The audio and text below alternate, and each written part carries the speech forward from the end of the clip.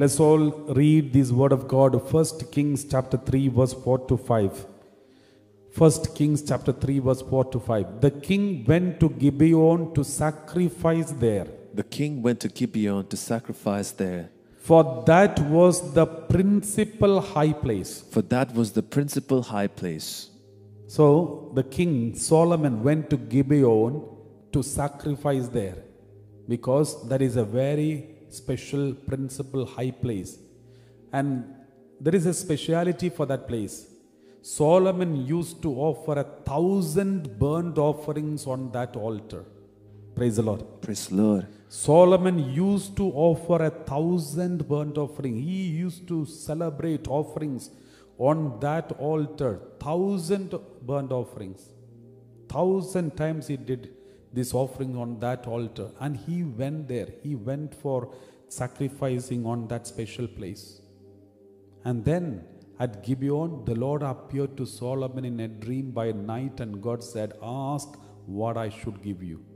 Praise the Lord. Praise the Lord. Just see, when a place, a place where he has done so many sacrifices, offerings, when he came to pray over there, the Lord asked him, What do you want me to do for you? I'm going to give you a special blessing, special blessing.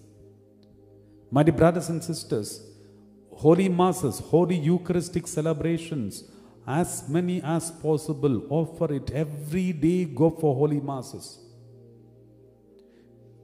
Praise the Lord. Praise the Lord. And when you come in front of that altar where you offered holy masses after holy masses, thousands of holy masses, then God will listen to your prayer. God will ask you what you want me to do for you.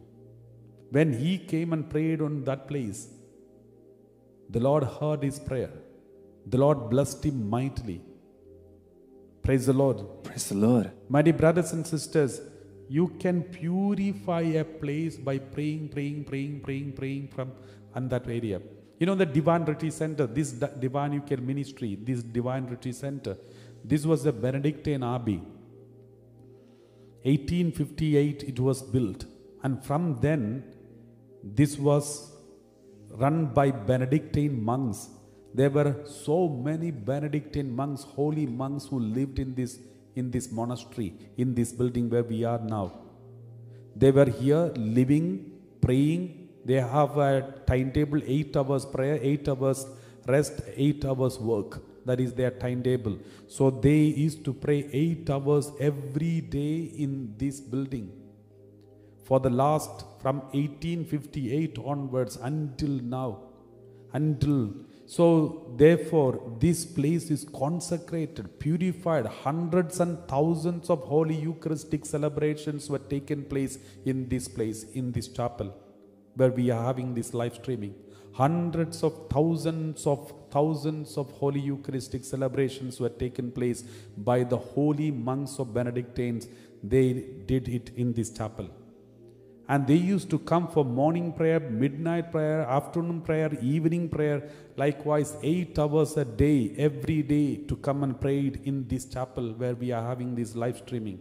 From 1858 onwards, you can imagine almost nearly 200 years, this chapel was consecrated by, and prayed by holy monks. Therefore, whenever people come and pray in this place, instantly the Lord is listening to them and God is asking them, What you want me to do for you? The Lord is releasing them. The moment they enter into this chapel and pray, the Lord's blessing is coming to them. This, is- there is now we are having the Blessed Sacrament exposed 24 hours and praying in this chapel.